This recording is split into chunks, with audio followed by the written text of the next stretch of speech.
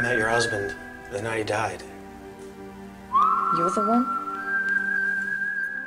Look, you don't know us nothing.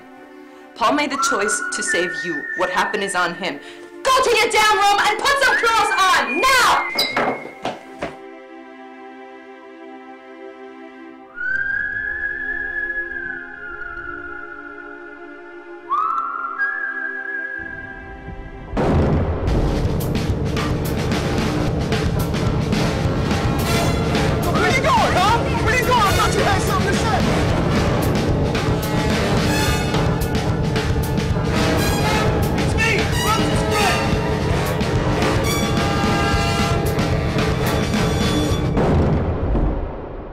Show me something tonight, Carl.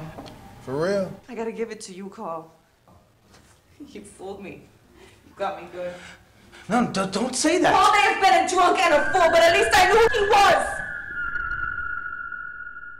There is no regular life.